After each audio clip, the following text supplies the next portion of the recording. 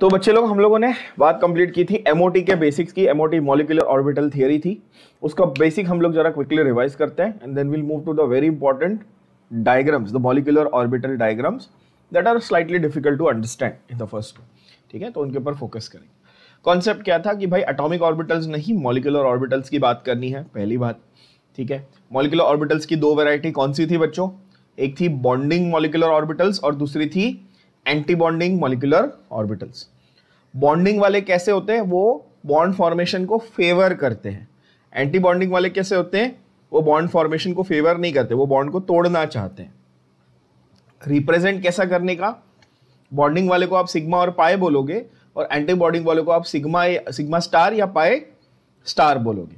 ज़्यादा एनर्जी किसमें होती है? एंटी बॉन्डिंग में। और इलेक्ट्रॉन जाना प्रेफर कहाँ करता है? ऑब्वियसली बॉन्डिंग में। बॉन्डिंग वाले की एनर्जी कम होती है तो इलेक्ट्रॉन वहाँ जाना पसंद करेगा, प्रेफर करेगा। अगर बॉन्ड बनाना है for the bond to form ज़्यादा इलेक्ट्रॉन्स कहाँ होने चाहिए? बॉन्डिंग ऑर्बिटल्स में होने चाहिए। बॉन्डिंग और एंटी बॉन्डिंग में दोनों में आपको इलेक्ट्रॉन्स फिल करने हैं ऑफ़ वो प्रिंसिपल और हंड्स रूल और जो भी हमने रूल्स लिखे थे उनके हिसाब से। बट ज़्यादा इलेक्ट्रॉन्स अल्टीमेटली कहाँ होने चाहिए? बॉन्डिंग ऑर्बिटल्स में होने चाहिए। तभी ही आपका जस्टिफाइड होगा कि बॉन्ड फॉर्म हो रहा है और खास करके स्टेबल बॉन्ड फॉर्म हो रहा है। क्या बात समझ आ रही है? तो हमने थियोरेटिकली इसके बारे में सारी सारी डिस्कशन कर ली थी। Sorry for that my phone is ringing या हमने थियोरेटिकली इसके बारे में सारी डिस्कशन की थी कि भाई, जो आपका बॉन्डिंग या एंटी बॉन्डिंग ऑर्बिटल है, उसके अंदर आप इलेक्ट्रॉनिक कॉन्फ़िगरेशन के हिसाब से इलेक्ट्रॉन्स को फिल करते जाओगे और अल्टीमेटली आपके बॉन्डिंग में अगर ज़्यादा इलेक्ट्रॉन्स आ गए तो बॉन्ड बनेगा। एंटी बॉन्डिंग में ज़्यादा इलेक्ट्रॉन्स आ गए तो बॉन्ड नहीं बनेगा। क्लियर बात है? यहाँ तक हमने बात की थी। और एक बहुत इंपॉर्टेंट चीज़ मैंने आप लोगों को मार्क करवाई थी एमसीक्यू पॉइंट ऑफ़ व्यू से that was your year for JEE and NEET मैंने ये मार्क करवाया था ना। आज इसको मैं आपको अभी एक्सप्लेन भी करके दिखाऊँगा कि डायग्रामेटिकली आपको इसको अप्लाई कैसे करना है। ठीक है? ऑर्डर ऑफ़ इंक्रीजिंग एनर्जीज ये याद कर लेना जरा बच्चों। For second row so we are going to write molecules for which row elements all the second row elements we are going to write for all second row elements ठीक है ना? पहली बात तो ये। दूसरी चीज़, उसमें ऑक्सीजन और फ्लोरीन के लिए एक्सेप्शन है। बाकी सबके लिए एक पर्टिकुलर ऑर्डर फॉलो हो रहा है। बात यहाँ तक समझ आ रही सबको? ठीक है? और एक चीज़ ध्यान में ये रख लेना, और एक चीज़ ध्यान में ये ज़रूर रख लेना बच्चों।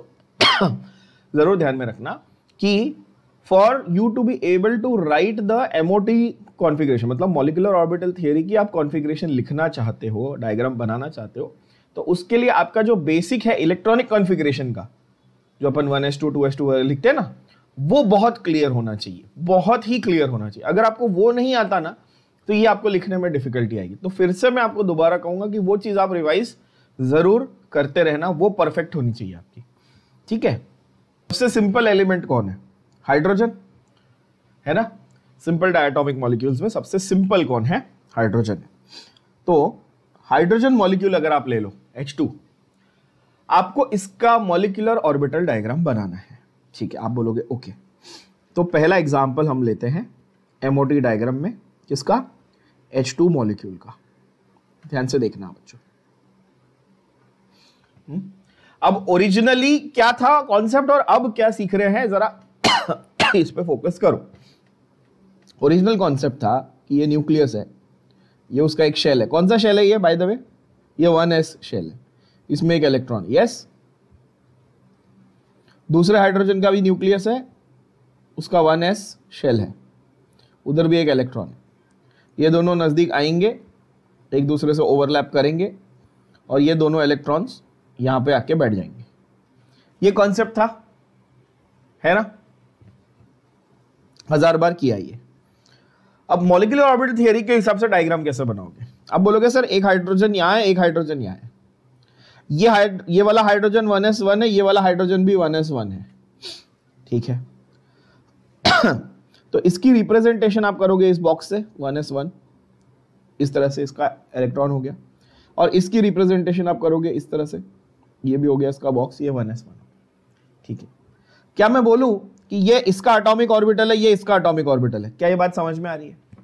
एक साइड इस हाइड्रोजन का एटॉमिक एटॉमिक ऑर्बिटल है, एक साइड इस हाइड्रोजन का एटॉमिक ऑर्बिटल है। यस अग्रीड अब ये दोनों एटॉमिक ऑर्बिटल मिलेंगे। ये दोनों क्या होंगे? ये दोनों एटॉमिक ऑर्बिटल मिलेंगे। अब दो एटॉमिक ऑर्बिटल मिले तो दो मॉलिक्यूलर ऑर्बिटल बनेंगे। क्या ये भी बात मैंने समझाई है? The number remains the same अब दो मॉलिक्यूलर ऑर्बिटल कौन से बनेंगे? जरा दिमाग लगा लो। कौन से बनेंगे?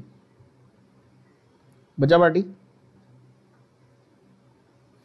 तो आपके दो मॉलिकुलर ऑर्बिटल्स जो बन रहे हैं, वो इस तरह के बनेंगे। एक बनेगा बॉन्डिंग और एक बनेगा एंटी बॉन्डिंग क्लियर है? एवरीबडी यस और नो मैं डॉटेड लाइन से दिखा रहा हूँ यहाँ पे।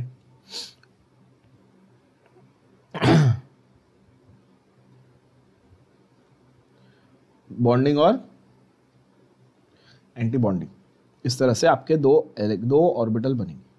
क्या ये बात समझ में आई? अच्छा क्या मैं इसको नाम दे दूँ? One S. ये अच्छा वन एस से बना था बच्चों। किससे बना था ये? वन एस से।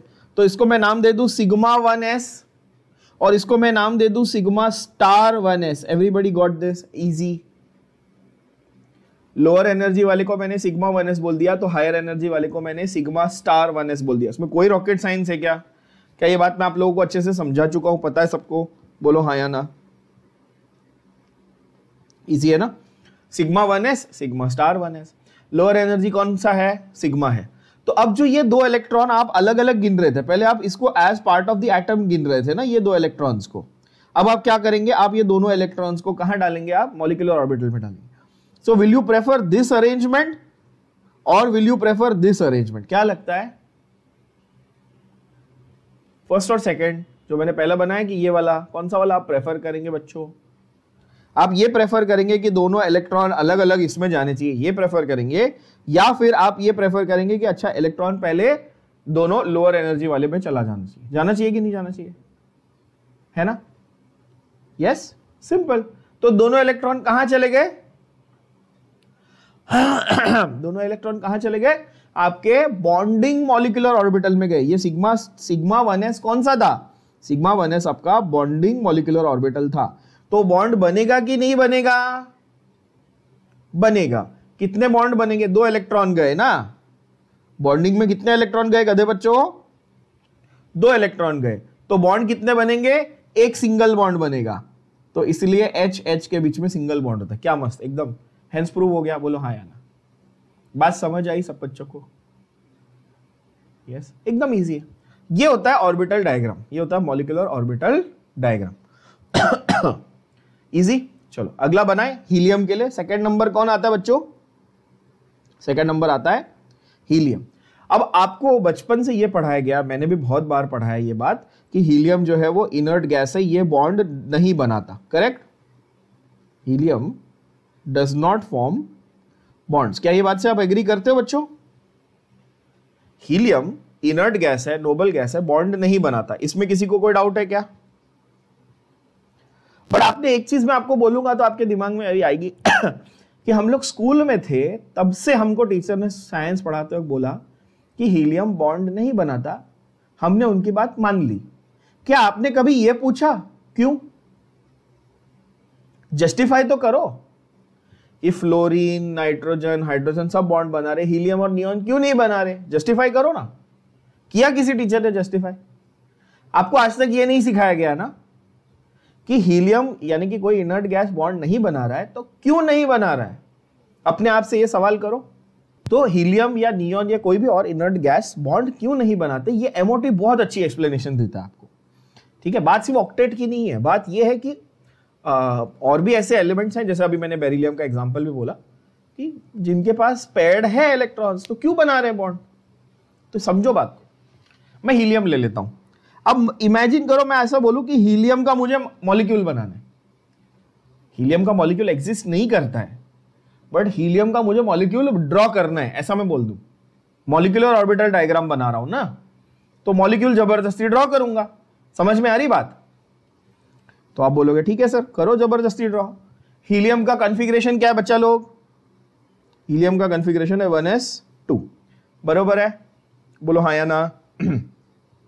सामने एक और हीलियम है। इसका भी कॉन्फ़िगरेशन क्या है? One s two. ये कैसा दिखता है? ये एक डब्बा है। ये हीलियम का डब्बा है। इसके अंदर इसके पास दो इलेक्ट्रॉन है, इसके पास भी दो इलेक्ट्रॉन है। ये दोनों मिलकर क्या बनाएँगे? ये दोनों मिलकर क्या बनाएँगे, गधे बच्चों? ये सीधा बॉन्ड बना देंगे। ये पहले मिलकर मॉलिकुलर ऑर्बिटल्स बनाएँगे ना? पहले बॉन्ड थोड़ी बना देंगे। ज़्यादा जेम्स बॉन्ड मत बनो, कि बॉन्ड ही बना रहे हो। पहले मॉलिकुलर ऑर्बिटल तो बनाओ। डॉटेड लाइन से बनाना है डायग्राम जनरली आपको ये डॉटेड लाइन से दिखाना होता है, ये कन्वेंशन है।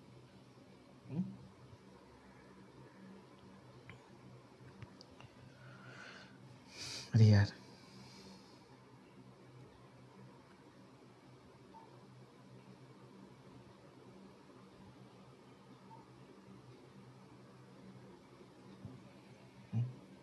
I'm not very good at drawing this.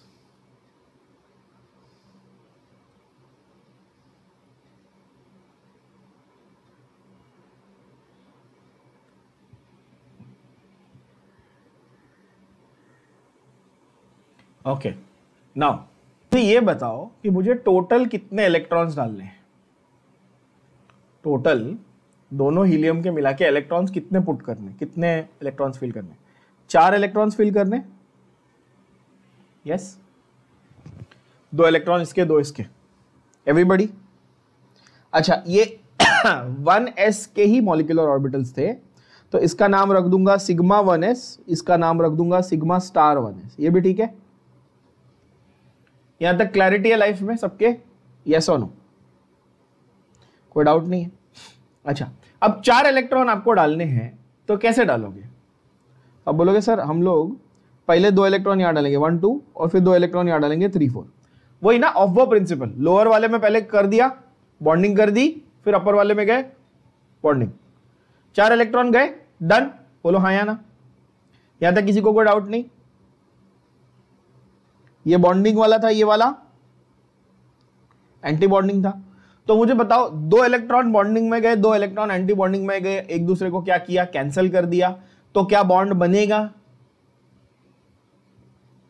तो क्या बॉन्ड बनेगा? बॉन्ड नहीं बनेगा। इससे प्रूव होता है कि हीलियम और हीलियम के बीच में बॉन्ड नहीं बन सकता। क्या ये बात समझ में आई? बोलो हाँ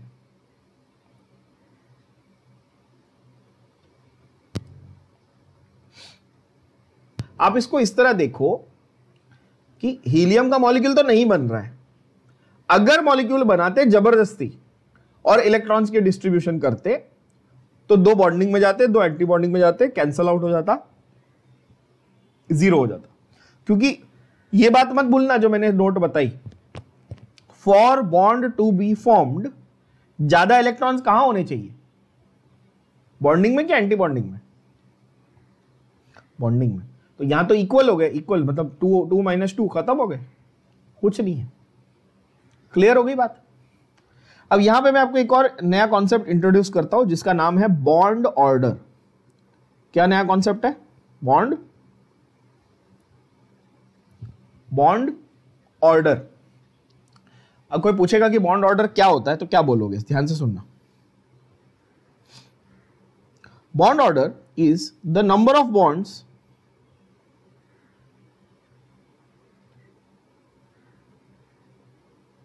formed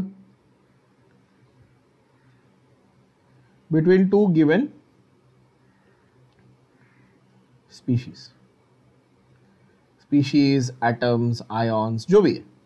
कोई भी दो एटम्स दिए हुए आपको, कोई भी दो स्पीशीज दी हुई है, कोई भी दो आयॉन्स दिए हुए जो भी है, उनके बीच में कितने बॉन्ड फॉर्म्ड है, उसको आप बोलते हो बॉन्ड ऑर्डर उसको आप क्या बोलते हो? बॉन्ड ऑर्डर एग्ज़ाम्पल देख लो। अगर हाइड्रोजन और हाइड्रोजन के बीच में सिंगल बॉन्ड है तो आप इसको बोलोगे bond order equal to one समझ आ रही बात? ऑक्सीजन ऑक्सीजन के बीच में अगर डबल बॉन्ड है तो आप बोलोगे बॉन्ड ऑर्डर क्या है? टू अरे बात समझ में आ रही है? बोलो हाँ या ना।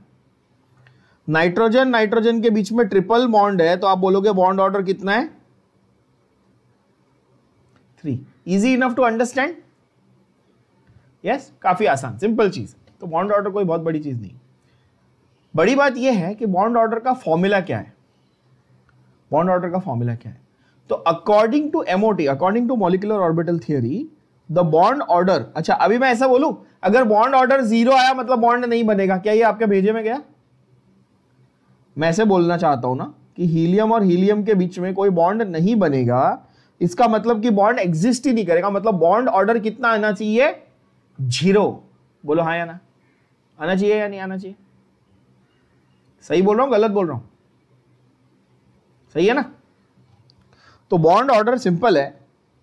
बॉन्ड ऑर्डर का फंडा है half of half of bonding molecular electrons minus anti bonding molecular electrons simple half of bonding minus anti bonding यहाँ पर बॉन्डिंग में कितने थे? दो। एंटी बॉन्डिंग में कितने थे? दो। Zero half into zero is equal to zero bond order zero आया। अगेन मैथमेटिकली भी हेंस प्रूव हो गया कि नहीं बन सकता बॉन्ड बोलो हाँ या ना। यस बच्चा पार्टी। समझ में आई बात? फॉर्मूला क्या है? फॉर्मूला मत भूलना। फॉर्मूला है bond order is equal to half of bonding bonding electrons minus anti bonding electrons clear easy कर लो. Bonding electrons minus anti bonding electrons clear हो गई बात? एकदम बढ़िया. हाइड्रोजन के लिए सेम लॉजिक लगाना चाहते हो? ट्राई करोगे? बॉन्ड ऑर्डर कितना होगा? Half of. बॉन्डिंग वाले कितने थे? बॉन्डिंग में कितने इलेक्ट्रॉन थे? दो। एंटी बॉन्डिंग में कितने इलेक्ट्रॉन थे? ज़ीरो। तो टू माइनस ज़ीरो। तो हाफ़ ऑफ़ टू, यानी कि वन। हुआ ना? हाइड्रोजन हाइड्रोजन में सिंगल बॉन्ड बनता है। प्रूव हुआ मैथमेटिकली प्रूव करके दिखाया, बोला हाँ ना क्योंकि तुम लोगों ने आज तक ये सवाल तो किया ही नहीं, किसी भी टीचर मेरे से भी नहीं किया आप लोगों ने तो और किसी भी टीचर से नहीं किया होगा। कि सर, आप ये बताते हो बचपन से नाइट्रोजन नाइट्रोजन ट्रिपल बॉन्ड हमने बोला, आपने मान लिया। नाइट्रोजन नाइट्रोजन में ट्रिपल बॉन्ड क्यों? नाइट्रोजन नाइट्रोजन में डबल बॉन्ड क्यों नहीं? हमने बोला, आपने मान लिया। प्रूफ करके दिखाने के लिए क्या चाहिए? एमओटी चाहिए। समझ में आई बात? ऑक्सीजन ऑक्सीजन में डबल बॉन्ड आप, हमने बोला, आपने मान लिया। अब आपको प्रूफ दिख रहा है सामने। जब आप मॉलिकुलर ऑर्बिटल डायग्राम बनाते हो, आपको सामने प्रूफ दिखता है। चलो, समझ में आ रही बात, बच्चा लोग? लिथियम का I draw the diagram for you for those of you who did not get it just check way you went wrong and try and understand अब क्या करो, मैंने L I two molecule lithium का अगर मैं diatomic molecule बनाना चाहता हूँ तो मैं कैसे ड्रॉ करूँगा? आपको ये दिखा रहा हूँ। तो पहले बताओ कि लिथियम का नंबर क्या है? नंबर थ्री इसकी कॉन्फ़िगरेशन क्या है बच्चों? आप बोलोगे, सर, इसकी कॉन्फ़िगरेशन है वन एस टू और टू एस वन बरोबर है? ये लिथियम की कॉन्फ़िगरेशन है। एवरीबडी नोस दिस ये नहीं आता तो फिर आप कुछ नहीं लिख पाओगे मैं आपको बार बार ये बात बता रहा हूँ कि अगर आप अगर आप अभी भी बेसिक इलेक्ट्रॉनिक कॉन्फ़िगरेशन नहीं लिख पा रहे हो एलिमेंट्स की तो फिर एम वगैरह और ये सब हाई फंडू चीज़ें पढ़ना छोड़ दो। ठीक है? फिर आपसे नहीं होगा। तो जाओ बेसिक्स पे पहले वर्क करो, उसके बाद वापस आके एम सीखो। अब थोड़ा सा दिमाग लगाते हैं कि भाई वन जब मिक्स होंगे तो दो ऑर्बिटल बनेंगे मॉलिकुलर वाले, और जब टू एस मिक्स मिक्स होंगे तो वापस से दो ऑर्बिटल बनेंगे मॉलिकुलर वाले। तो टोटल आपके चार ऑर्बिटल यहाँ पर बन गए। ठीक है? जिनको ये बात नहीं समझी, वो ऐसे देखें। मैं डॉटेड लाइन से नहीं बना रहा हूँ, मैं डायरेक्ट लाइन बना दे रहा हूँ। ठीक है ना अभी? ये आप समझ जाना। ठीक है? डॉटेड लाइन बनाने में टाइम ज़्यादा वेस्ट होता है।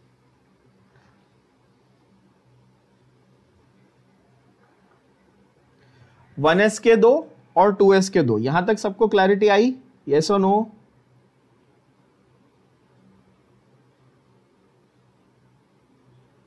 इजी अच्छा नाम क्या लिखेंगे बच्चों? नाम क्या लिखेंगे बताओ जरा। नाम लिखना भी आपको आ गया अभी। नाम क्या लिखेंगे बताओ? Sigma one s, sigma star one s, sigma two s, sigma star two s. ये भी ठीक है। इजी ओके आप बोलोगे फाइन यहाँ तक सही है। लिथियम के पास ओरिजिनली तीन इलेक्ट्रॉन इसके थे, तीन इलेक्ट्रॉन इसके थे। तो टोटल कितने इलेक्ट्रॉन भरने हमको? टोटल कितने इलेक्ट्रॉन भरने अभी? सिक्स इलेक्ट्रॉन्स भरने। ये भी समझ में आ रहा है बच्चों? इसमें किसी को कोई डाउट है? सिक्स इलेक्ट्रॉन्स में कैसे भरू? वही ना अपना अवो प्रिंसिपल लोअर से हायर जाओगे धीरे धीरे तो यहाँ पे क्या करोगे? One two three four five six कितना इजी समझे कि नहीं समझे? छह इलेक्ट्रॉन तुमने भर दिए। अच्छा। अब मुझे बताओ बॉन्डिंग में कितने गए? तो सिग्मा वाला ये बॉन्डिंग है सिग्मा वाला ये बॉन्डिंग है। तो बॉन्डिंग में नीचे दो है, ऊपर दो है। कितने हुए? चार। एंटी बॉन्डिंग में कितने बच्चों? ये रहे, देखो, कितने हैं? दो। ठीक है? तो बॉन्ड ऑर्डर कितना आया बच्चा लोग? Half of four minus two यानी हाफ़ ऑफ़ टू यानी कि वन आया बॉन्ड ऑर्डर मतलब आइडियली लिथियम और लिथियम के बीच में सिंगल बॉन्ड होना चाहिए। अग्रीड मेरा सवाल आपसे यह है कि ideally L I two molecule होना चाहिए तो आप हमेशा एल आई को सिंगल एक सिंगल मोनोटॉमिक क्यों लिखते हो? मेटल है ना? आप लिथियम को एल आई लिखते हो कि एल आई टू लिखते हो? आप बोलोगे, सर, हम तो एल आई लिखते हैं। हाँ। तो मेरा सवाल है आपसे, क्यों? तो भाई, ये जो एल टू का मॉलिक्यूल जो है ना this exist only in vapour state ये एग्जिस्ट करता है स्टेबल बट कभी सिर्फ़ और सिर्फ़ वेपर फॉर्म में ही एग्जिस्ट करता है। देखो यार मेटल्स के पास ना एक खास टाइप की बॉन्डिंग होती है, जिसको हम लोग बोलते हैं मेटालिक बॉन्डिंग कौन सी बॉन्डिंग होती है? अब ये जो हम लोग बॉन्ड बना रहे हैं, ये सब तो कोवेलेंट बॉन्ड है ना? मॉलिक्यूलर ऑर्बिटल्स में है, लेकिन कैसे बॉन्ड है? कोवेलेंट बॉन्ड है इलेक्ट्रॉन्स की ये हो रही है ना? शेयरिंग हो रही है तो कोवेलेंट बॉन्ड है। और मेटल्स जो है ना, वो मेटालिक बॉन्ड बनाना प्रेफर कर लेते हैं। तो lithium technically should be a diatomic molecule it can exist prove हो गया प्रूव करके दिखाया, पर प्रैक्टिकली देखा जाए तो वो मेटालिक बॉन्ड को फेवर करता है, और जब वो मेटालिक बॉन्ड को फेवर करेगा तो वो मोनोअटोमिक स्टेट में रहना पसंद करेगा। लिथियम का कोवैलेंट नेचर आपको देखने मिलेगा या उसका डायटोमिक नेचर आपको देखने मिलेगा जब वो वेपर स्टेट में होता है। क्या ये बात समझ में आई? समझना सबको ये? और ये एमसीक्यू के लिए बहुत इंपॉर्टेंट पॉइंट है तो खास करके सीईटी जेई नीट और उस पॉइंट ऑफ़ व्यू से कि लिथियम का मॉलिक्यूल जो है वो वेपर स्टेट में एग्जिस्ट करता है। क्लियर हो गई बात? बढ़िया। अगला वाला बहुत ही इंपॉर्टेंट और बहुत ही अच्छा सा एग्ज़ाम्पल है बच्चों, इसको स्टार मार्क कर लेना। यह है आपका नाइट्रोजन मॉलिक्यूल कौन सा मॉलिक्यूल है? नाइट्रोजन मॉलिक्यूल अब यहाँ पर जरा थोड़े से ट्रिकी कॉन्सेप्ट आएँगे, ध्यान से देखना। अभी तक हम लोग ने सिर्फ़ सिग्मा की बात की थी, अब मैं पाए भी इंट्रोड्यूस यहाँ पर करने वाला हूँ आपके लिए। आई होप मेरी आवाज़ सबको क्लियर आ रही है। अब नाइट्रोजन की इंडिविजुअल इंडिविजुअल इलेक्ट्रॉनिक कॉन्फ़िगरेशन क्या है? एटम की। बताओ। तो आप बोलोगे, सर नाइट्रोजन की तो नंबर सेवन होता है तो नाइट्रोजन का होता है one s two two s two और टू पी थ्री ऐसा होता है नाइट्रोजन का? One s two two s two two p three so दोनों नाइट्रोजन एटम्स का इंडिविजुअल कॉन्फ़िगरेशन मैंने यहाँ पे लिख दिया। ठीक है? और इसकी इंडिविजुअल कॉन्फ़िगरेशन बना भी ले यहाँ पे।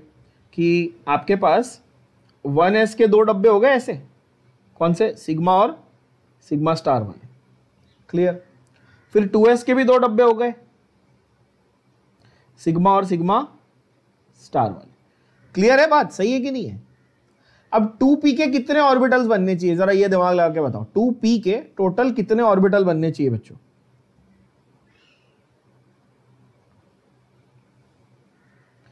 दोनों इंडिविजुअल पी के कितने ऑर्बिटल से एक पी में कितने ऑर्बिटल होते हैं? एक पी में तीन ऑर्बिटल होते हैं। तो दोनों के मिला के टोटल कितने? सिक्स ऑर्बिटल्स बनने चाहिए। बोलो हाँ या ना? एवरीबडी ये समझने के पहले हमको ये सेंटेंस याद कर लेना है कि कन्वेंशन के हिसाब से जेड एक्सिस जो है वो हमारा इंटर न्यूक्लियर एक्सिस है। जेड एक्सिस कौन सा हमारा? इंटर न्यूक्लियर मतलब अलोंग द न्यूक्लियस ये एक्सिस है। यानी कि मैं z को सिग्मा मान लूँगा, ये अजम्पन है, और x और y को मैं क्या मान लूँगा? पाए मान लूँगा। क्या ये बात समझ में आ रही? यस बच्चों? बात समझ में आई सबको? Yes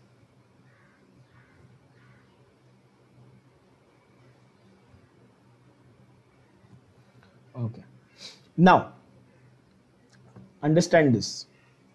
the sequence that you're writing for the energy levels is very, very important in this sequence. Huh?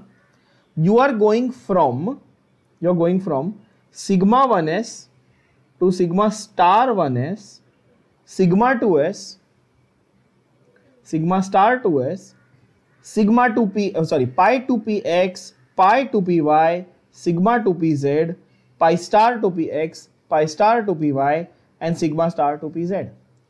ये है आपका sequence of energy lower to higher पहला ये समझ लो एक और चीज़। अब ये देखो, क्या ये सेम चीज़ हमने यहाँ पर मार्क की है? चेक करो।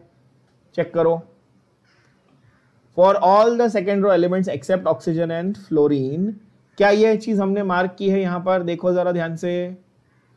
Sigma one s sigma star one s sigma two s sigma star two s pi two p x pi two p y sigma two p z और फिर pi star two p x और two P y और फिर sigma star two p z. Clear हुई बात? Yes और no यही sequence यहाँ पर आपको डायग्राम में आपने ड्रॉ किया अब कुछ बच्चे ये सोच रहे होंगे कि सर ये इतना डिफ़िकल्ट है, ये सीक्वेंस याद कैसे रहेगा? ये सीक्वेंस याद कैसे रहेगा हमको? तो भाई सीक्वेंस याद करने का तरीका भी बताता हूँ। क्यों टेंशन लेते हो? ध्यान से समझो। ये जो वन एस है ये तो तुम लोग को इजीली आ गया। सबको आता है वन एस, कैसा लिखोगे? Sigma one s, sigma star one s. इसमें कोई डाउट नहीं। टू एस का क्या लिखोगे बच्चों? Sigma two s, sigma star two s. ये भी ठीक है, इसमें कोई डाउट सिंपल है। अब बात को समझो। टू पी में इसके पास तीन ऑर्बिटल थे, इसके पास भी तीन ऑर्बिटल थे। बरोबर है। अब तीन ऑर्बिटल कैसे थे, जरा इनको समझना। ये थे पी एक्स वाई जेड ये भी तीन थे p z x sorry y और पी एक्स अग्रीड जेड को मैंने कन्वेंशनल माना है तो सबसे ऊपर कौन चला जाएगा? सबसे ऊपर अकेला कौन चला जाएगा? बोलो, कौन चला जाएगा सबसे ऊपर? जेड चला जाएगा। क्या ये बात समझ में आई? बोलो हाँ या ना? गधे बच्चों। जेड को मैंने कन्वेंशनल माना है तो सबसे ऊपर आप क्या लिख दो? पहले आप जेड लिख दो, फिर उसका एक जोड़ीदार नीचे आएगा ना? तो इसको मैं बोल दूँगा सिग्मा इसको मैं बोल दूँगा sigma star two p z तो इसको मैं बोल दूँगा सिग्मा टू पी जेड। यहाँ तक सबको क्लैरिटी लाइफ में यस और नो जेड को मैंने पहले लिख दिया। Yes yes. अब मुझे क्या लिखना है? एक्स और वाई और एक्स और वाई को मैं कैसे लिखने वाला हूँ? सिग्मा या पाए पाए लिखने वाला हूँ। तो एक्स और वाई मैं यहाँ लिख रहा हूँ जेड के नीचे। ध्यान से देखो। ये एक्स ये वाई और उनके करस्पॉन्डिंग ऑर्बिटल्स यहाँ पे। तो अगर ये मेरा, ये वाला मेरा पाई टू पी वाई है और ये मेरा पाई टू पी एक्स है तो ये मेरा pi star two p x होगा और इसका करस्पॉन्डिंग क्या होगा ऊपर? Pi star two p y होगा। क्या ये अब इजी लग रहा है? क्या सीक्वेंस समझ में आया? अब तुम लोग सीक्वेंस खुद बता पाओगे क्या? बताओ। अब बोलोगे sir one s sorry sigma one s, sigma star one s, sigma two s, sigma star two s, फिर pi two p x equal to pi two p y, फिर उससे ज़्यादा एनर्जी किसकी? सिग्मा टू पी जेड, फिर pi star two p x, pi star two p y की equal और सबसे last में सिग्मा टू पी जेड की sorry sigma star two p z की सबसे ज़्यादा। ऐसे आपका एनर्जी का लेवल बना। बोलो हाँ या ना? एवरीबडी गॉट दिस यस और नो बस, अब लास्ट में क्या करना है? इसको लाइंस बना के ज्वाइन कर दो। ये दोनों की प्रॉपर्टी ये ऐसे हो गए।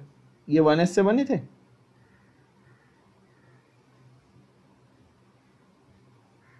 ये वाले टू एस से बने थे।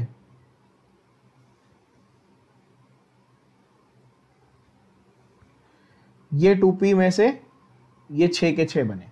One two three four five six just make sure that you are writing the positions properly. That's it. ठीक है? टू पी जेड जो है ना, वो यहाँ भी ऊपर और बीच में आ रहे हैं और फिर एक्स और वाई उसके ऊपर और नीचे, ऐसे आ रहे बस। And now start filling the electron how many electrons do I have to fill total 14 electrons क्यों? एक नाइट्रोजन के साथ, दूसरे नाइट्रोजन के साथ। टोटल कितने भरने मैंने? टोटल कितने भरने गधे बच्चों? 14 इलेक्ट्रॉन्स फिल करने अब मैं यहाँ से फिलिंग चालू करता हूँ लोअर से higher one two three four five six seven eight nine ten दोनों इक्वल है ना? समझा कि नहीं समझा? Nine ten eleven twelve thirteen fourteen भर गया? हाँ कि ना? यस और नो यस अच्छा अगर आप एनर्जी लेवल के हिसाब से कायदे से देखने जाओ तो कैसे भरोगे? Nine ten eleven twelve thirteen fourteen energy level के हिसाब से। जो दो इक्वल थे वो मैंने साथ साथ में भरे। वन टू थ्री फोर ऐसे भरे। यस हंस रूल फॉलो किया? अब बस काउंटिंग करनी क्या? अब लास्ट क्या बचा? काउंटिंग करनी से बॉन्डिंग और एंटी बॉन्डिंग की। तो जहाँ जहाँ सिग्मा दिख रहा है या पाई दिख रहा है, वो बॉन्डिंग है। जहाँ स्टार दिख रहा है, वो एंटी बॉन्डिंग है। चलो धड़ाधड़ बताते जाओ। ये वाला कैसा है? बॉन्डिंग ये वाला कैसा है? बॉन्डिंग ये वाला? बॉन्डिंग बॉन्डिंग बॉन्डिंग एवरीबॉडी कितने हो गए बॉन्डिंग बताओ? टोटल काउंट करो, कितने हुए? पाँच ऑर्बिटल्स है, यानी कि उसमें इलेक्ट्रॉन्स कितने हुए? दस इलेक्ट्रॉन्स हुए काउंट करो। देखो one two three four five six seven eight nine ten सबको दिख रहा है? अंधे तो नहीं हो, दिख रहा होगा। ऑफ़ कोर्स अब एंटी बॉन्डिंग बताओ बच्चों। अब बोलोगे, सर, ये एंटी बॉन्डिंग है? ये वाला एंटी बॉन्डिंग है। बाकी कहीं दिख रहा है? स्टार में कहीं कोई इलेक्ट्रॉन दिख रहा है? नहीं। मतलब टेन माइनस फोर मतलब हाफ़ ऑफ़ सिक्स मतलब थ्री मतलब हेंस प्रूव हुआ कि नाइट्रोजन नाइट्रोजन के बीच में ट्रिपल बॉन्ड है। बोलो हाँ या ना। इजी एकदम कॉन्क्रीट प्रूफ के साथ समझ में आया। अच्छा वो जो ट्रिपल बॉन्ड है, उसमें से ये एक सिग्मा है, दो पाए है। ये भी समझ में आया? ये सुनो बोलो हाँ या ना।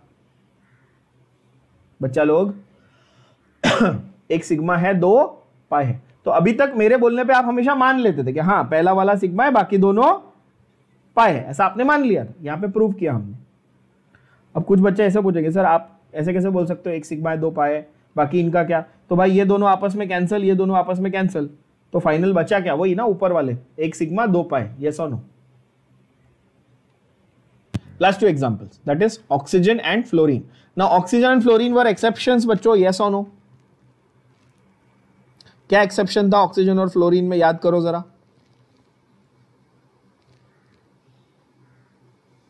जो ऑर्डर है, वो अलग है। ऑर्डर अलग कहाँ से है, कैसे है, देखो जरा। ऑर्डर यहाँ पर ऑक्सीजन एंड फ्लोरीन में आपका सिग्मा टू पी जेड पहले आ जाता है, और उसके बाद आपका पाई और मतलब टू पी एक्स और टू पी वाई पाई आता है। मतलब कि ये वाला पार्ट ये सिग्मा टू पी जेड ये पहले आ जाएगा इनके। ठीक है? बस ये डिफरेंस है। बाकी ओवरऑल सेम है। अगर आप देखो, बाकी ओवरऑल सब कुछ सेम है। सिर्फ़ मैं आपको कंपैरिजन करके भी दिखाता हूँ। नाइट्रोजन के मॉलिक्यूल का डायग्राम ध्यान से देखना। ये वाला टू पी जेड ऊपर है सिग्मा वाला और ये दोनों नीचे है। बरोबर? और ऑक्सीजन में देखो तो ये टू पी जेड नीचे और ये दोनों ऊपर है। दिख रहा है? बोलो हाँ या ना। बस ये एक ही डिफरेंस है। बाकी कुछ डिफरेंस नहीं है बच्चों। बाकी सब कुछ सेम है। अब आपके दिमाग में एक बहुत ही अच्छा सवाल क्या आएगा कि ऐसा कि ऐसा क्यों है? हमारा फेवरेट सवाल है है ना? हम तो वाई लेके पैदा हुए सर, ऐसा क्यों? अपन उसमें ज़्यादा इनडेप्थ नहीं घुसेंगे कि क्या है, क्यों है। बट सिंपल ये समझ लो कि अगर मैं ऐसे बोलूँ कि समझो ये मेरे दो ऑर्बिटल्स हैं एटॉमिक ऑर्बिटल्स हैं और इनके दो मॉलिकुलर ऑर्बिटल बन रहे हैं। अगर ये दोनों एटॉमिक ऑर्बिटल्स इफेक्टिवली एक दूसरे के इंटरन्यूक्लियर एक्सेस में हैं और ये ज़्यादा रिपल्शन क्रिएट कर रहे हैं तो ये कोशिश करेगा कि बहुत ज़्यादा डिस्टेंस क्रिएट करे डिफरेंस क्रिएट करे। तो टू पी जेड सिग्मा और टू पी जेड का सिग्मा स्टार जितना ज़्यादा दूर रहेगा, उतनी ज़्यादा स्टेबिलिटी मिलेगी। ठीक है? इफेक्टिवली ये दूर जाना चाहिए। अब जरा डायग्राम बना के देखते हैं फटाफट। डायग्राम तो अपने को अभी बहुत आप लोग इसमें एक्सपर्ट हो ही गए होंगे अभी तक आई एम श्योर ऑक्सीजन का नंबर है एट ऑक्सीजन का नंबर है यहाँ पर एट मैं पूरे बॉक्सेस नहीं बना रहा हूँ, अभी मैं सिर्फ़ लाइंस बना रहा हूँ। आई होप आप लोग समझ जाओगे। I am not drawing the whole box हाँ? वन एस टू को मैं सिर्फ़ एक लाइन बना रहा हूँ, समझ जाओ। यहाँ पर भी वन एस टू को I am just drawing it as a line तो यहाँ पर भी I draw it as only as a line not as a box please understand I hope you are understanding this ठीक है। फिर two S two को again I am drawing as a single line like this तो two S two के भी दो बना दिए यहाँ पे।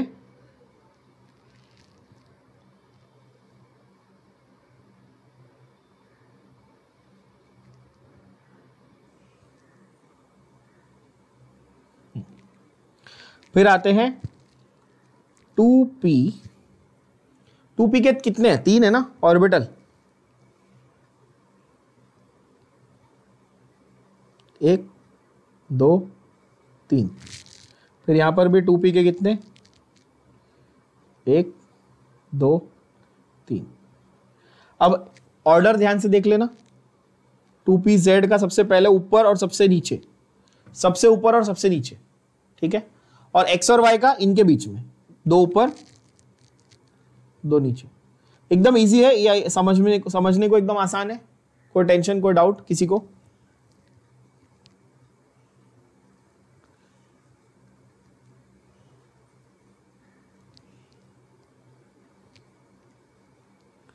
अब नाम लिख देता हूँ, नाम लिखने से सब समझ में आ जाएगा, ध्यान से, देख लो। This is sigma one s this is sigma star one s This is sigma 2s. This is sigma star 2s. This is sigma 2pz. So then this is sigma star 2pz. Yes? Everybody?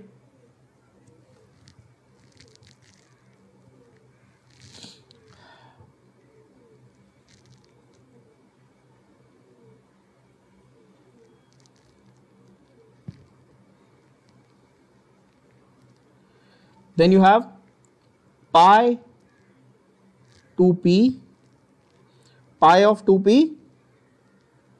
y and pi of 2p x. तो pi star of 2p x and pi star of 2p y ये भी ठीक है बोलोगे सही है अब total electron कितने डालने मैंने बच्चों आठ इलेक्ट्रॉन इसके, आठ इलेक्ट्रॉन इसके। टोटल कितने डालने मैंने? सिक्सटीन इलेक्ट्रॉन डालने। अब इलेक्ट्रॉन फिल करना शुरू करो लोअर से हायर बस, कितना ईजी है। रेड कलर से भरता हूँ। One two three four five six seven eight nine ten यहाँ तक ठीक है? Nine ten eleven twelve thirteen fourteen fifteen sixteen समझा कि नहीं समझा? फिर से देखो लास्ट के देखो। Eleven twelve thirteen fourteen fifteen sixteen समझ में आई बात? बहुत इंपॉर्टेंट नोट करने जैसी इसमें बात क्या समझ में आई बच्चों आपको? क्या आपको अनपेड इलेक्ट्रॉन्स दिख रहे हैं? मॉलिक्यूल बनने के बाद भी अनपेड इलेक्ट्रॉन्स दिख रहे हैं? बोलो यस और नो कहाँ दिख रहे हैं? Pi star two p x और pi star two p y में अनपेड इलेक्ट्रॉन्स दिख रहे हैं। दिख रहे हैं? आप बोलोगे, हाँ सर, दिख रहे हैं ऑफकोर्स दिख रहे हैं। क्यों नहीं? अनपेड इलेक्ट्रॉन्स मतलब पैरामैग्नेटिक या डायमैग्नेटिक? अनपेड इलेक्ट्रॉन्स हैं, इसका मतलब कि वो सब्सटेंस कैसा है? पैरामैग्नेटिक है या डायामैग्नेटिक है? इट इज़ पैरामैग्नेटिक और आपको याद होगा, मैंने वीबीटी के ड्रॉबैक्स में आपको ये पॉइंट बताया था कि वीबीटी तो ये बोलती है ना कि ऑक्सीजन ऑक्सीजन डबल बॉन्ड आठ इलेक्ट्रॉन इसके, आठ इलेक्ट्रॉन इसके, सोलह इवन नंबर हो गए। इवन नंबर है मतलब सब पेयरिंग वेयरिंग हो गई, सब सेट है लाइफ तो डायमैग्नेटिक होना चाहिए। सारे पैड है। लेकिन ये गलत किसने प्रूव करके दिखाया? एमओटी ने इसको प्रूव करके दिखाया। बात समझ में आई? बोलो हाँ या ना। बहुत ही अच्छा और बहुत ही इंपॉर्टेंट डायरेक्ट पॉइंट है आपके। आपके जेई के एग्ज़ाम में नीट के एग्ज़ाम में बहुत बार इसके ऊपर क्वेश्चन आता है बच्चों। कि एमओटी की एक बहुत ही खास बात यह थी कि वो ऑक्सीजन के पैरामैग्नेटिक नेचर को प्रूव कर पाया था, जबकि VBT valence bond theory VSEPR ये सब उसको प्रूव नहीं कर पाए थे। क्या ये बात सबके भेजे में गई? तो कोई आपको पूछेगा the paramagnetic nature of oxygen molecule या O2 molecule was proven by dash theory तो आप क्या बोलेंगे? Which theory molecular orbital theory oxygen के जो लास्ट दो लाइन आपके टेक्स्ट बुक में दिए डायरेक्ट इसके ऊपर से क्वेश्चन आया हुआ आपके एग्ज़ाम में. ठीक है? ऑक्सीजन मॉलिक्यूल पैरामैग्नेटिक है due to un to unpaired electron यहाँ तक तो सबको आता है बट वो दो अनपेड इलेक्ट्रॉन कहाँ पे है? वो pi star two p x और pi star two p y में। क्या ये बात क्लियर हुई? अगर मैं एग्जैक्ट सेम चीज़ फ्लोरीन के लिए बनाता, ध्यान से सुनना मेरी बात को। अगर ये एग्जैक्ट सेम टू सेम फंडा, मैं किसके लिए बनाता अभी? If I wanted to draw it for fluorine filling करें इसकी फ्लोरीन की फटाफट। One two three four five six seven eight nine, ten, ठीक है? उसके बाद eleven, twelve, thirteen, fourteen, fifteen, sixteen, seventeen, eighteen. हो गया अठारह इलेक्ट्रॉन फिल अच्छा ऑक्सीजन में बॉन्ड ऑर्डर क्या आया था? ये तो बोला ही नहीं ना। ऑक्सीजन में बॉन्ड ऑर्डर कितना आया था? टोटल बॉन्डिंग में कितने? बॉन्डिंग में दो और दो चार और दो छ और दो आठ और दो दस। और एंटी बॉन्डिंग में कितने? दो और दो चार और दो छ है ना? तो कितने हुए?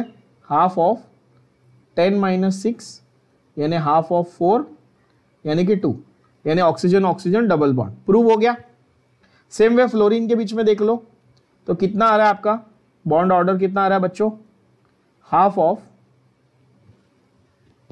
कितना आने वाला half of ten minus eight आ रहा है क्या? चेक करो. टेन माइनस एट यानी कि ओवरऑल वन यानी फ्लोरीन फ्लोरीन के बीच में सिंगल बॉन्ड एकदम बढ़िया, सब समझ में आ गया सबको कि किस तरह से मॉलिकुलर ऑर्बिटल थियरी काम करती है, किस तरह से मॉलिकुलर ऑर्बिटल बनते हैं किस तरह से फिलिंग ऑफ़ इलेक्ट्रॉन्स होता है और किस तरह से आप उसका बॉन्ड ऑर्डर निकाल सकते हो। अब आप ये सोचोगे कि सर, हर बार बॉन्ड ऑर्डर निकालने के लिए हमको इतना बड़ा लंबा चौड़ा ये बनाना पड़ेगा क्या? डायग्राम बनाना पड़ेगा? नहीं।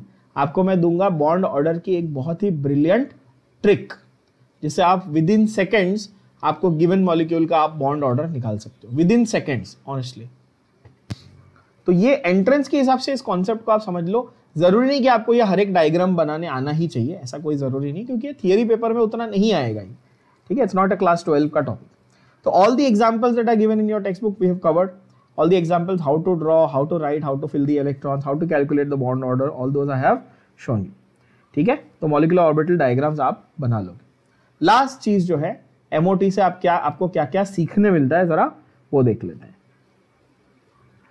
मतलब what are the parameters bond parameters that you can understand with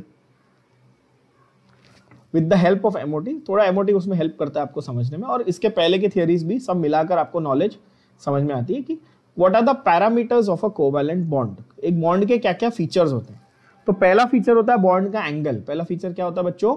bond का एंगल ठीक है? अब आपको ये याद होगा, मैंने आपको हाइब्रिडाइजेशन सिखाते वक्त ये बताया था। कि sp3 हाइब्रिडाइजेशन है तो बॉन्ड एंगल 109 डिग्री 28 मिनट्स है। याद है सबको ये?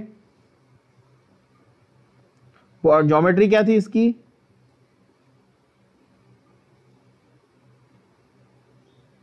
Sp2 में 120 है sp में 180 है।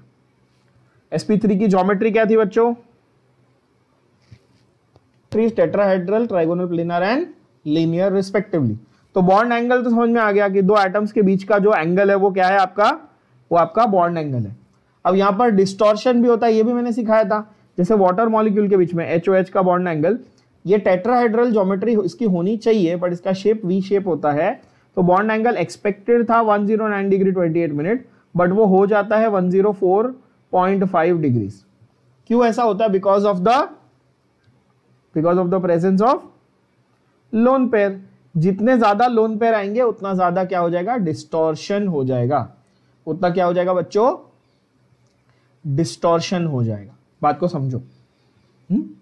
एक एग्जांपल देखते हैं, जैसे कि बॉन्ड एंगल जो है वाटर मॉलिक्यूल में 104.5 है अमोनिया में 107 है BF3 BF3 क्या है? बोरॉन ट्राइफ्लोराइड उसकी आपकी ट्राइगोनल प्लेनर ज्योमेट्री थी तो 120 डिग्रीज था। बॉन्ड एंगल को मेजर करने के लिए हम लोग क्या यूज़ करते हैं? स्पेक्ट्रोस्कोपी यूज़ करते हैं। एटॉमिक स्ट्रक्चर में बताया स्पेक्ट्रोस्कोपी क्या होती है? सबको मालूम है। ठीक है। Then your bond enthalpy what do you mean by the word enthalpy बच्चों? एंथैल्पी वर्ड का मतलब है बेसिकली एनर्जी तो बॉन्ड की एनर्जी बॉन्ड की एनर्जी मतलब ऑब्वियसली उस बॉन्ड को ब्रेक करने के लिए। The amount of energy required to break the bond per mole obviously this is defined what per mole जितनी एनर्जी लगेगी एक मोल उस पर्टिकुलर कंपाउंड uh, के बॉन्ड्स को ब्रेक करने के लिए उसको हम लोग क्या बोलेंगे? उसकी बॉन्ड एंथैल्पी बोलेंगे। क्या बोलेंगे? Bond enthalpy for example hydrogen का मैंने आपको एग्जांपल दिया हुआ है। हाइड्रोजन की 436 किलो जूल पर मोर बॉन्ड एंथैल्पी होती। मतलब कि हाइड्रोजन हाइड्रोजन का बॉन्ड आपको ब्रेक करना है तो आपको 436 किलो जूल एनर्जी सप्लाई करनी पड़ेगी। क्या ये बात समझ में आई? Yes or no? That was bond enthalpy. Third is bond length. Bond length क्या है? इजी है, पहले डिफाइन किया हुआ है। It is the equilibrium distance between the nuclei of two covalently bonded atoms ठीक है? इसके लिए हम लोग कौन सी टेक्निक्स यूज़ करते हैं इसको स्टडी करने के लिए? X ray diffraction and electron diffraction method. कौन से दो मेथड यूज़ करते हैं हम लोग? X ray diffraction and electron diffraction method use करते हैं हम लोग। ठीक है? इसका मतलब क्या है? जरा समझो। हमने ये देखा था कि जब हाइड्रोजन का मॉलिक्यूल बन रहा है, जब हाइड्रोजन का मॉलिक्यूल बन रहा है तो ये उसका न्यूक्लियस है, ये उसका एस सब शेल है, ये दूसरे हाइड्रोजन का न्यूक्लियस है, ये उसका एस सब शेल है। जब ये दोनों आके ओवरलैप कर रहे हैं तो इन दोनों न्यूक्लियाई के बीच का जो डिस्टेंस है, ये होता है 74 पिकोमीटर कितना डिस्टेंस होता है बच्चों? 74 पिकोमीटर तो ये उसकी बॉन्ड की लेंथ हो गई। ये क्या हो गई? बॉन्ड की लेंथ यानी जब बॉन्ड बन चुका है इक्विलिब्रियम यानी कि स्टेबल मॉलिक्यूल बन चुका है तब दोनों न्यूक्लियाई के बीच का जो डिस्टेंस है उसको आप बोलते हो उसकी बॉन्ड लेंथ क्या ये बात समझ में आई? तो for hydrogen molecule bond length is 74 picometre I hope that is clear to all ये वैल्यू याद करके रख लेना हाइड्रोजन के लिए। काफ़ी इंपॉर्टेंट वैल्यू है। हम्म, मैं यहाँ लिख देता हूँ आपके लिए समझो। एंट्रेंस एग्ज़ाम के लिए काम आएगी। Bond order equal to one bond enthalpy is equal to four three six kilo joule per mole and bond length is equal to seventy four picometre ये सब वैल्यूज़ आपको याद करनी है बच्चों एंट्रेंस एग्ज़ाम के पॉइंट ऑफ़ व्यू से। I hope this is clear yes yes? Last but not least is bond order. Already अभी बताया आपको, bond order क्या है? Equal to the number of bonds formed in a molecule. जैसे कि hydrogen में bond order one है oxygen में टू है नाइट्रोजन में थ्री है etcetera isoelectronic molecules and ions have identical bond order isoelectronic species के बारे में आप लोगों को पढ़ाया मैंने, बहुत बार उसके बारे में एमसीक्यू भी पूछे हैं। बोलो हाँ या ना? What are isoelectronic species बच्चों? What is an isoelectronic species जिसका number of electrons yes number of electrons same होना चाहिए। ये मैंने बहुत बार आप लोग को इसके बारे में क्वेश्चन भी पूछा है, इसके बारे में पढ़ाया भी है आइसो इलेक्ट्रॉनिक स्पीशीज तो अगर दो स्पीशीज हैं जो आइसो इलेक्ट्रॉनिक हैं तो उनका बॉन्ड ऑर्डर क्या होगा? सेम होगा। थोड़ा सा दिमाग लगा लो कि जैसे N2 मॉलिक्यूल N2 मॉलिक्यूल में टोटल इलेक्ट्रॉन कितने हैं बच्चों? N2 मॉलिक्यूल में टोटल इलेक्ट्रॉन कितने हैं, कैसे बताओगे? दो नाइट्रोजन है, दोनों के पास सात सात इलेक्ट्रॉन है। तो टोटल कितने इलेक्ट्रॉन हुए बोलो? 14 इलेक्ट्रॉन हुए बोलो हाँ या ना? सेम वे अगर मैं आपको पूछूँ कि CO कार्बन मोनोऑक्साइड क्या पूछूँ? CO कार्बन मोनोक्साइड तो कार्बन के छह ऑक्सीजन के आठ, कितने इलेक्ट्रॉन हुए?